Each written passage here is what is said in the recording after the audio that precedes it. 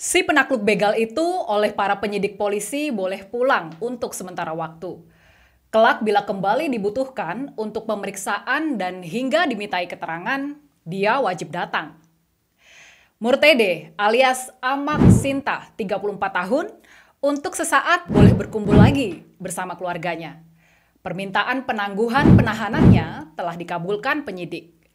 Ini tentu karena berita atas kasus yang menimpa dirinya tersebar hingga seluruh penjuru negeri. Berita itu jadi perbincangan karena dianggap ada kejanggalan.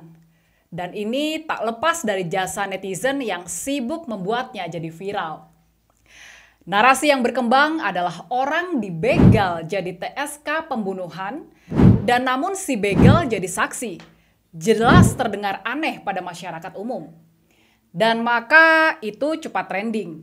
Apalagi emosi rakyat terkait kegilaan para begal itu saat ini sedang meninggi. Murtede seolah jadi antitesa para begal yang selama ini perkasa. Murtede yang berhasil membunuh begal itu adalah pahlawan di saat aparat cenderung selalu kecolongan dan tak mampu melindungi masyarakat. Si pemberani dan dianggap pahlawan namun justru ditersangkakan telah membawa gelombang protes. Ketemu lagi di Opinita, Opini Leonita bersama saya, Rini Budoyo.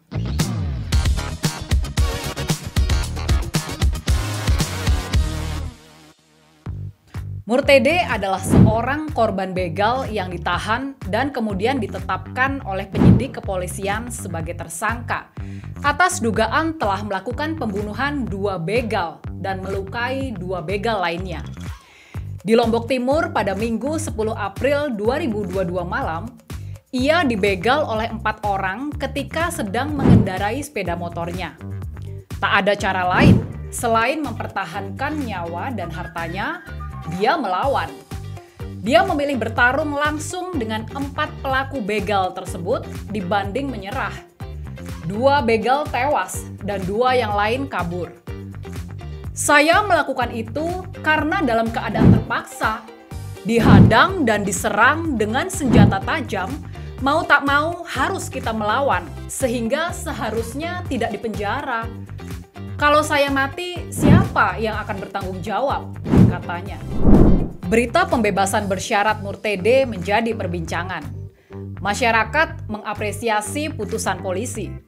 Namun apakah Murtede akan bebas selamanya itu bukan wilayah penyidik kepolisian, tapi itu adalah wilayah pengadilan kelak. Itu tergantung putusan hakim saat perkara itu telah disidangkan. Kenapa tak dibebaskan saja sih? Bukankah dia hanya bela diri? Tak ada unsur sengaja, apalagi niat membunuh, kan? Jangankan menghabisi nyawa dengan senjata tajam seperti yang diberitakan pada kasus Murtede. Kita lagi nyetir mobil, terus ada motor nabrak kita dan pengemudinya tewas saja, hukum hanya bicara tentang menghilangkan nyawa orang lain, baik disengaja maupun tidak, harus dihukum. Hukum yang ada tak bicara siapa benar dan siapa salah ketika terjadi peristiwa yang menyebabkan hilangnya nyawa. Pada kasus Murtede, pasal pembunuhan adalah undang-undang yang ada dan disediakan oleh negara.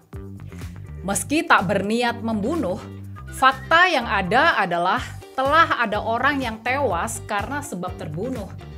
Dan karena tak ada indikasi atau unsur perencanaan atau sengaja, maka pasal pembunuhan tak berencana adalah pasal teringan yang dapat disangkakan pada Murtede. Pembunuhan yang tidak direncanakan dan tidak diikuti dengan tindak pidana lainnya diatur dalam pasal pembunuhan 338 KUHP di mana bahkan hukuman maksimalnya pun masih 15 tahun penjara. Karena ancaman hukumannya di atas lima tahun, Kemarin polisi harus menahan Murtede. Itu perintah undang-undang. Bila hari ini kita dengar bahwa Murtede boleh berada di luar tahanan, sementara kasusnya juga masih tetap berjalan, itu subjektivitas penyidik. Bisa karena sebab apa pun, itu hak yang juga dimiliki oleh penyidik. Apakah bukan karena desakan masyarakat demi rasa adil? Sekali lagi, Alasan subjektif tak harus dibuat jadi perdebatan. Undang-undang memberi kewenangan itu dan kini digunakan. Apa pun alasannya, bukan wilayah kita meminta polisi menjelaskannya. Terus, kenapa dua begal yang lain hanya jadi saksi? Dua orang itu adalah saksi pada perkara Murtede, namun pasti juga tersangka pada kasus perampokan dengan kekerasan atau begal. Di tempat sepi dan tak ada saksi lain dapat dimintai keterangan, baik korban maupun pelaku dapat menjadi saksi, terlapor, dan bahkan pelapor. Rasa adil bagi masyarakat memang terasa terobati, karena Murtede sebagai pihak yang dirampok dan hanya membela diri, namun justru ditahan, kini dirasakan. Murtede boleh berada di luar tahanan selama masa pemeriksaan. Namun, itu bukan berarti Murtede tak akan menjalani sidang pengadilan. Polisi sebagai aparat penyidik diperintah oleh hukum untuk menyelidiki dan menyidik. Jaksa penuntut umum akan melanjutkan dengan melakukan tugas penuntutan. Bagaimana hakim kelak akan memutus perkara tersebut?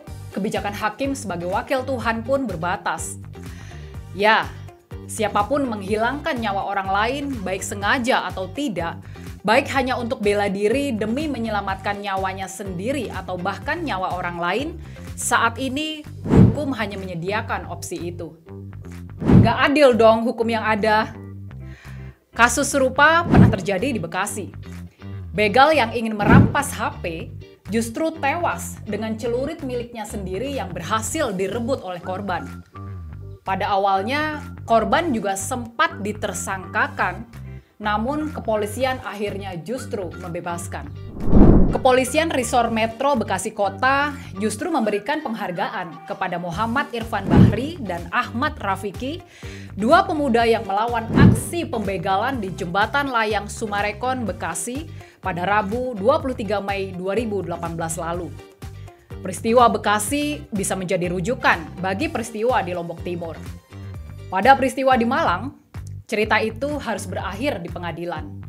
Korban yang bertahan dan namun juga berhasil membunuh sang begal itu dikenakan pasal 351 ayat 3 tentang penganiayaan yang menyebabkan orang lain meninggal dunia.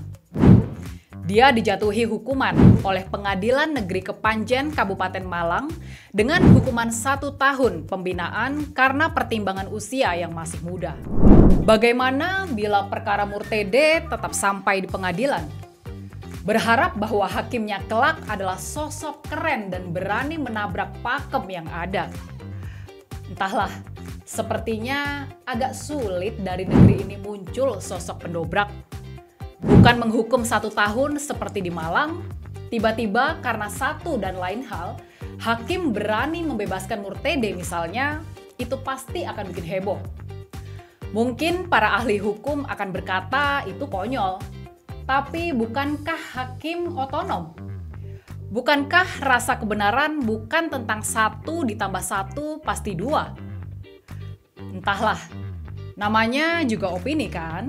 Yang jelas bila itu terjadi, itu akan menimbulkan perdebatan luar biasa ramai.